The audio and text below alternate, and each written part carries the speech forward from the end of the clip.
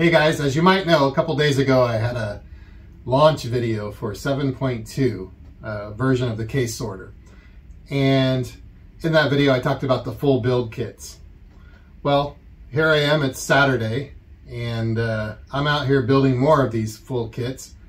I could not have anticipated how much demand there would be for these kits.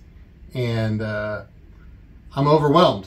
Actually, it's it's been awesome to see how many people wanted the full build kits. I've been shipping them all over the world. And uh, wanted to talk a little bit about why you see them on back order already or why, why they're out of stock. When I decided to do the build kits, I bought a 100 boards and I figured about 50 of those would be the full build kit and the other 50 I would use for what we're calling the essentials kit, the stuff that only I make, it's a small kit. And uh, so when I decided to do these kits, I decided that probably about 50 build kits would be a good starting point. I could gauge the demand based on that. Um, this was before all the tariffs and everything else. And so um, I pre-built about 30 of those kits before I did the launch video. And those are the ones that sold pretty much in just a few days. So now I'm working on the, the other 20 and I realized that I underbought one of the critical components. You could probably guess what's missing. Well, it looks like it would be the board. It's actually the heat sink that goes on the board. So I special ordered those. Hopefully I should get those today or tomorrow and I can finish up these last 20 build kits. Um, at, at that point, I'm gonna be out of motors and the motors take a long time to come from China. So uh, I do have another set of motors on order for another 50 kits. So I'm hoping in the next month, month and a half that I'll have, you know, another supply coming in that I can start building these kits. But I wanted to also just take a minute and show you what goes into building these kits. And so I took a bunch of footage um, today and, and over the week of just all the elements that are involved in putting together the kit. So it's not like I get these pre-made and I just have to ship them to you. I spend a lot of my own time putting these things together. So let's take a look at that. So this footage here is how I test each and every board. So I put together this quick harness that uses spring wire and um, a lot of tape and solder. Apparently you can't solder to spring wire. So um, anyway, this is the best I could do, but it's quick to connect to these connectors and pops out real easy. This allows me to uh, push the latest firmware to the board, which is what I'm doing here. And then once the firmware is done, I can kick off a test. Now while this test is running, I'll go ahead and take that time to put on the heat sinks.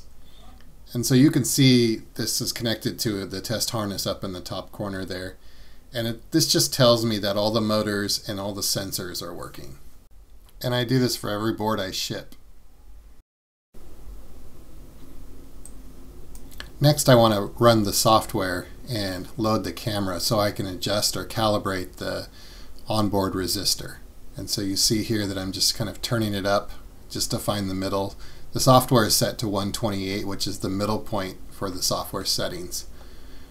Now once that's done I'll go ahead and switch the board off and unplug the harness and we'll do the next board. Now here I'm processing and testing all the optical sensors that come from the factory. So they come in a big batch. When you order them in bulk, uh, you have to go and separate them all. And I built this little test harness that I can quickly test each one. And you'll see on the breakout board in the top corner there's an LED light. And when you connect, the LED light will sh shine green when it's actually receiving a signal. And so I basically plug each one of these in and interrupt it and make sure it's working properly. Now unfortunately I've found probably about 1 out of 15 or 1 out of 20 of the sensors that I get in these batches actually don't work. And so in this batch of I think 30 or 40 I only found one which is pretty good. But it would suck if you received two of the sensors in your kit and one of them didn't work. And so I kind of want to eliminate that headache. So here is uh, testing the proximity sensors. And again, I created this little harness that uses a hot glue and uh, some heat set inserts. And I basically go and plug in each and every proximity sensor and then test it. Make sure that it's lighting up the green light in the corner. This can be, this one is a little bit more time consuming, but um, so far I've only found out of the batch of 100 proximity sensors, I think I've only found one or two that were bad. I didn't film myself uh, building cameras, but you can always watch the uh, build series on building the camera and what's involved with each camera. So this picture is just uh, some of the cameras that I've already pre-built and ready for those kits. It's probably the most time consuming of the steps. And here I'm building the proximity sensor for the classifier base. Um, once you have to build a bunch of these, you can kind of understand why the design doesn't involve using screws. These go pretty fast as well, but I again test each one after I've assembled it just to make sure everything is working when you get it. So this is another tedious part of the build. Uh, there's a parts kit that comes in the full kit, and although I did my best to make sure we had all the parts you know, packed from China, I found out I needed to augment these kits and add a few screws here and there. And so I have to basically disassemble each one of these kits to find the, the screws that we need to augment. And then we'll go ahead and add those screws to the kit, as well as the other parts that didn't get added, mainly because I had forgotten about them. So here I am adding the individual uh, additions to each bag. So for instance, I needed two more wing nuts, a couple more of the M3 screws, and so on. If only uh, real life could be sped up like this, though.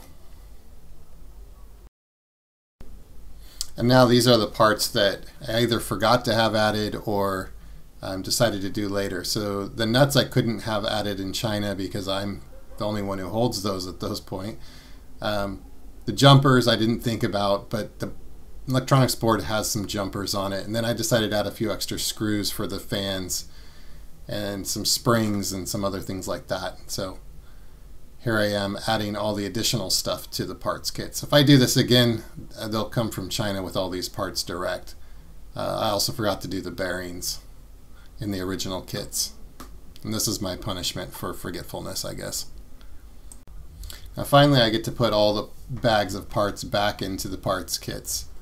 And then I have what I call fully augmented kits that are ready to go. Now I'm using one of the older CS7 uh, 2 boards, version 1, to test the motor. And I wrote some special software so we don't burn out the motor um, while plugging and unplugging. But I basically plug in each, in mo each motor and test that it can move in both directions. So I test each and every motor here. Out of the 100 motors that I had ordered, I have yet to get a bad one. So maybe I don't need to do this testing. Maybe they're already doing it at the factory. Now finally the most rewarding part of the process is to put it all together. These motors have a bit of grime so I wipe them off and go ahead and pack everything as neatly as possible. Now I had these foam inserts made custom for this project of course um, it just makes packing the kit way easier than trying to individually wrap everything.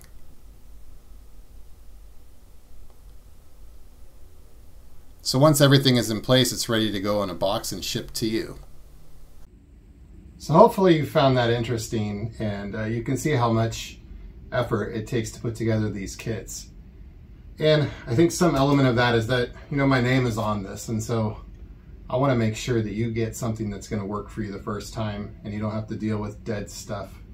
Um, DOA stuff is one of my big pet peeves when you order something and it comes in the mail and it doesn't work. So I wanted to try to eliminate that as much as I can. Um, and, and so that adds a little bit of extra time to put these kits together. So as the stuff comes in, you know, give me a little grace as I as I get stuff together, but sometimes I'll be adding two or three a day into the store Sometimes it might be 10, but it does take a good amount of time to put these together. So um, hopefully you can appreciate that. Well, thank you very much. I love you guys. Cheers.